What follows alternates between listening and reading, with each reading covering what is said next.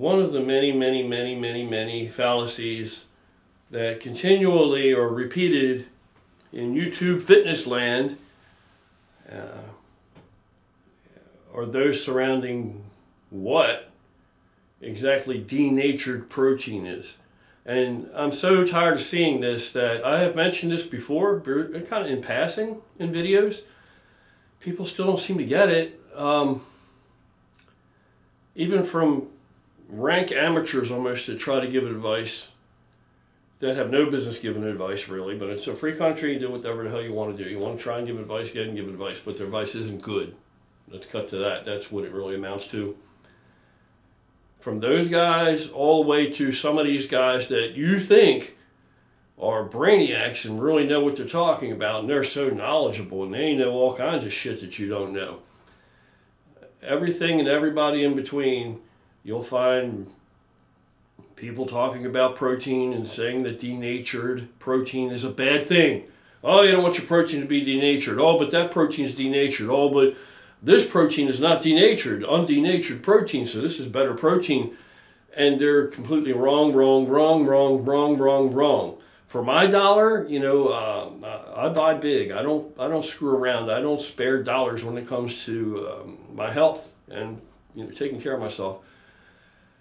Denatured protein, give it to me every time. Give it to me every time. It's what we eat all the time anyway.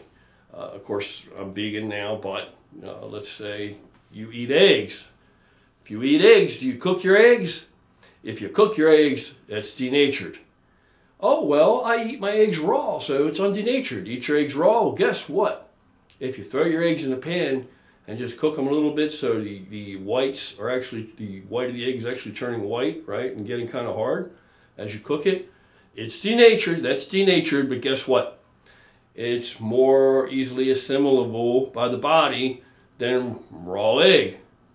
Yep, easier to assimilate. Body's going to use more of that protein uh, end game result than if you ate it raw. So in that in that light, when you look at it that way, many times denaturing even a cooked food is an awesome thing. When you're talking about supplements, protein powders, they're all denatured. They are all denatured. Uh, you're going to see claims that it's undenatured protein. Has it been processed in any way at all? In any way at all. Think about that. If it's whey, it's been separated. It's been separated, right? It's been denatured. It's been made into a powder. It's been denatured. They maybe have added something for flavor. It's been denatured. Any of these processing, um, most of your like whey isolate, has been run through one additional manner of denaturization or processed at least. And if you're getting into hydrolysate, then that's been run through two or more additional uh, uh, additional treatments and forms of processing to, to get the end result, hydrolysate. Now me, I, um, I like whey hydrolysate, I like whey isolate, but hydrolysate, yeah, give it to me all day long. Think of denaturing as um, let's say you eat peanuts. You like peanuts, you like roasted peanuts.